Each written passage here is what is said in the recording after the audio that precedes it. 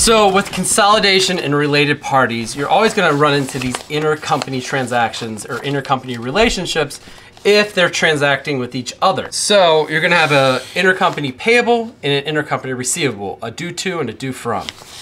And when you're dealing with a foreign subsidiary that's in a different, that has a different functional currency compared to the functional currency of the parent, you have currency translation adjustments. In this scenario with their intercompany transactions, back to the thousand pounds, you gotta love that.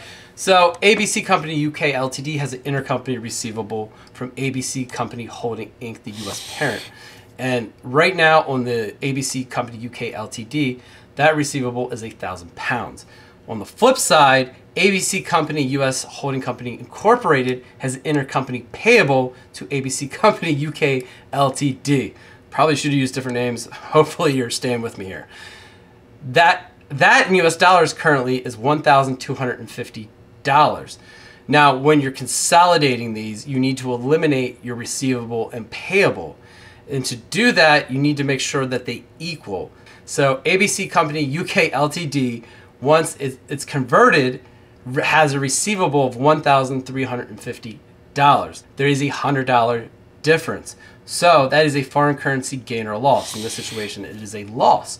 So, so we can properly eliminate the receivable and payable in this situation. So in this scenario, I'm going to debit foreign currency loss. And I'm going to credit ABC Company UK Ltd intercompany payable. Really should have chose different names, but hopefully this works. In that scenario, I've then increased the payable to 1350. I can properly eliminate that and on, from a consolidation basis, I have a $100 foreign currency loss from the translation. All right, next consolidation consideration, we need to be able to eliminate the equity section of the foreign subsidiary along with the investment in the foreign subsidiary.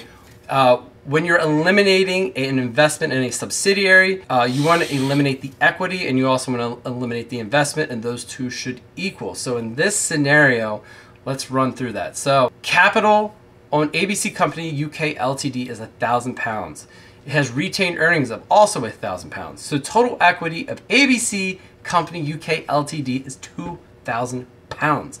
Now, if we go look on ABC Company US Holding Inc., the investment in ABC Company UK Ltd is 2500 and we're going to need to eliminate both sides of the equation. So let's let's currency translate the equity section of ABC Company UK Ltd.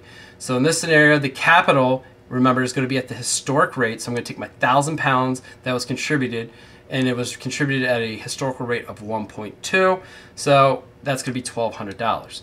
The retained earnings, remember, it's that weird historical average. So in this scenario, it is a 1.24. And then we also need to eliminate retained earnings. So retained earnings, you got to remember, is that weird historical rolling average. So in that situation, so in this situation, I got a 1.24 rolling historical average rate. I'm to take the 1,000 pounds times 1.24 and I get $1,240. So when I convert the equity section of ABC Company UK Ltd, I get a total of $2,440. When I compare that to my investment in ABC Company UK Ltd on ABC Company US Holding Inc.'s books, I got a difference. $2,500 versus 2,440. In this scenario, I have a currency translation adjustment that I need to account for. So in this situation, I am going to run that through other comprehensive income. That is not going to flow through the P&L. I'm going to debit foreign currency translation adjustment in the equity section under other comprehensive income.